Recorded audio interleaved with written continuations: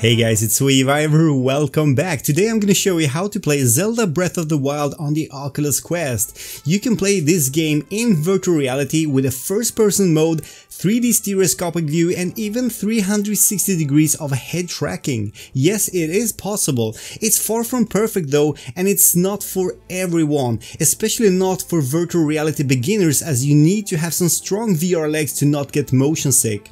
Some people may even think this is a completely retarded idea and I could partially agree, but hey, I gave it some time, I did my own tweaking and yes, it works indeed. Well, to a certain degree at least. And that's why I wanted to share this with you today, but please watch the whole video to really understand how to get this running if you would like to try it for yourself. Before we start off, make sure to subscribe and also let's give a huge thanks to all my Patreon supporters and a special thanks to my official sponsors on Patreon, Commander Darklight, Art Armin and VR Ambassador. Well, yes, you can run Zelda Breath of the Wild in VR on the Oculus Quest with an emulated side-by-side -side 3D view giving you a depth in the game and the whole game is played in a first-person mode. Now also add some real head tracking that lets you look around in any direction as well as up and down. You can sit down while playing and you can of course stand up if you want and you need a gamepad for the interaction of course. It does not give you full room scale 6 degree of freedom but at least it feels like being in VR. Now before I show you how it's done, I need to let you know a few things about this method to run the Zelda Breath of the Wild on the Oculus Quest. It's really far from perfect. I would suggest you consider this as a proof of concept or simply an experiment until we have a more proper way to run it. Also, I won't go into every single detail here in this video. If you have seen my previous video about playing Zelda Breath of the Wild on the PC VR headsets with the CEMU emulator and also my latest video about Moonlight Player for Oculus Quest, then you will understand the rest. If you haven't seen these videos yet, you really should, otherwise you won't understand how it's all put together. Anyway, here are some additional things you need to know. First, this is so far only possible using a first person mode in Zelda. The third person mode would not allow you to do the head tracking. And sure, it works in the first person mode and you can run around in the woods and do most likely everything in the game just as usual, even if it is harder to doing it in the first person mode. The aiming, the attacking and the general interaction is a bit tricky from start, but once you get hold of this, it's actually pretty easy easy to manage. Secondly, the head tracking is real 360 degrees and you can look in any direction, but this is made thanks to an Android smartphone and its gyroscope communicating with the CEMU emulator that runs the Zelda game. So you will need an Android smartphone that has a gyroscope and iPhones are not supported. Also, you need to attach your smartphone on the top of your Oculus Quest to get the head tracking triggered by your head motions of course. Easiest way is to actually attach it with some tape. I know it looks really bad, but it works. And of course it will add some weight to your Oculus Quest, but that's another story and hopefully you can live with that. Next, you also need a powerful PC, especially a powerful CPU or processor, because the CEMU emulator of Nintendo games runs mostly off this CPU. I'm using an i9 9900K processor with 8 cores at 5GHz and I have still some dropped frames at many areas in the game, especially because we need to run this game in a side-by-side -side mode thanks to ReShade, so at least an i7 processor is recommended here.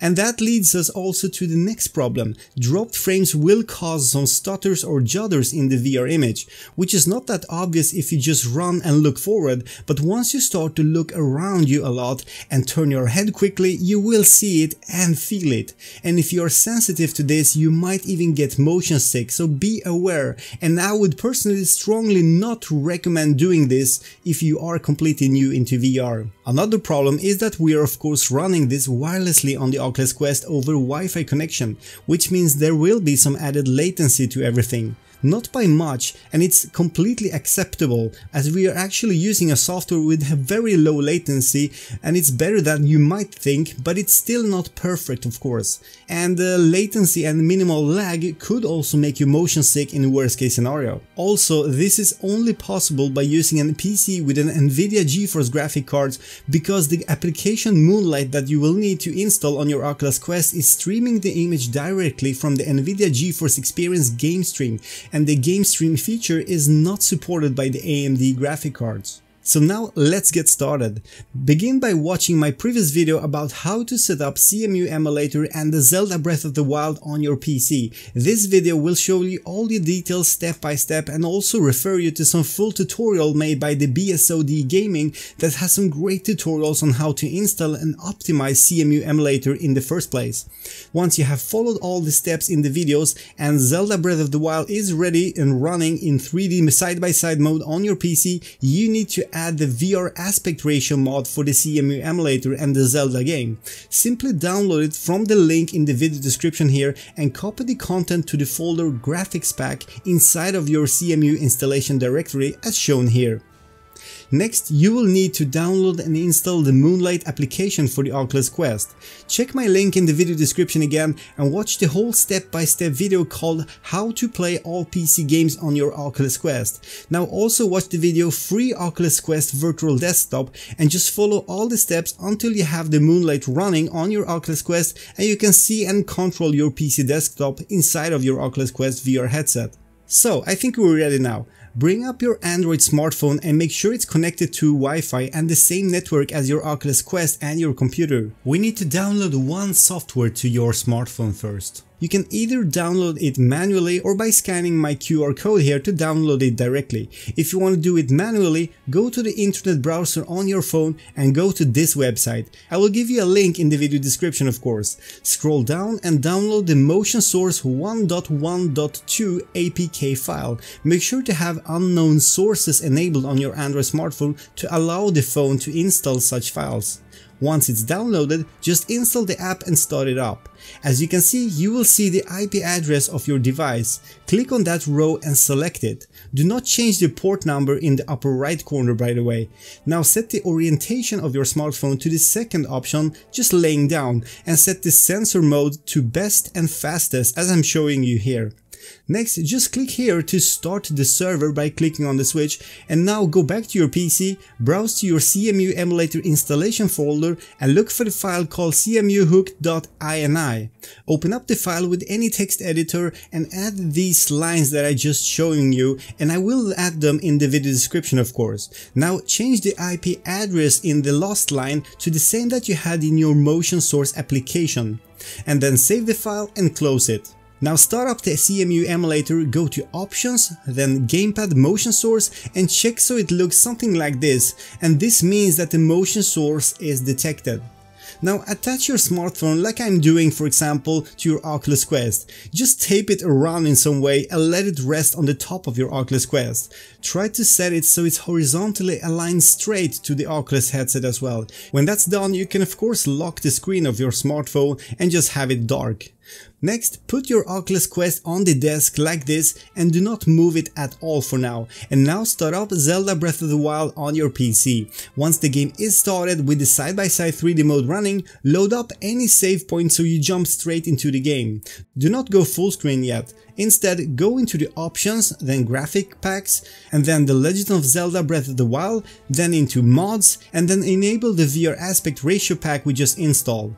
This will correct the aspect ratio of the game for the VR mode. Also preferably run the game in at least a 1080p resolution to get a great image quality in game, and you can change the resolution here.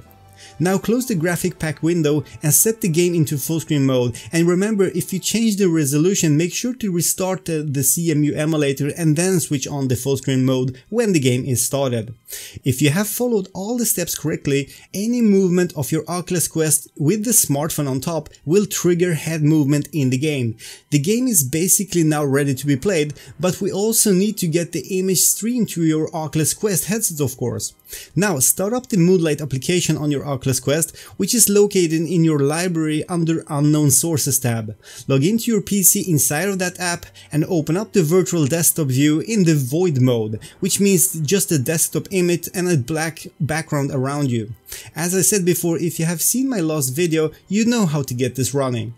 Go to the settings tab of the app and change the aspect ratio to 4:3. Do not use the 16:9 aspect ratio as it will be too wide for this game. Now go to the next tab and adjust the size of the desktop view so it's almost covering your view. Well, almost at least. You want to still be able to see most of your heads-up display and some of the information when you go into the menus and the map for example. If you make it too big, you won't be able to see that. Next, turn on the 3D side-by-side -side mode in the settings menu of the Moonlight application. Now you should be able to see the game in your VR view in 3D, but the problem is that you're not stuck to the screen right now, so when you're moving your head around, the game image is not following you and this is not how it's supposed to be. So here is the final steps to fix that. In the Moonlight application, enable the trackpad mouse mode. This is very very important. This will not show the settings menu tabs at all anymore, but that's the purpose also because we don't want to have this to be shown. Next, click on this tab, choose void and wait until you see the game image again. Now the settings menu is gone and you cannot even bring it up again unless you restart the application, but that's good. Next, look up or down beyond the screen and then press the trigger button on your Oculus Quest controller and hold it. This will make the image fixed and centered to your view no matter how much you move your head. Keep pressing the trigger now and meanwhile take off your headset, now put some tape over the trigger button to keep it pressed in all the time and once you're done just place the controller somewhere because you don't need it anymore now. Lastly, Put on your headset again, grab your Oculus Quest headset and you will see the head movements are working and the image is stuck in your view just as it's supposed to be. This gives you a VR feeling of course with full head tracking and it's basically like playing this game in VR.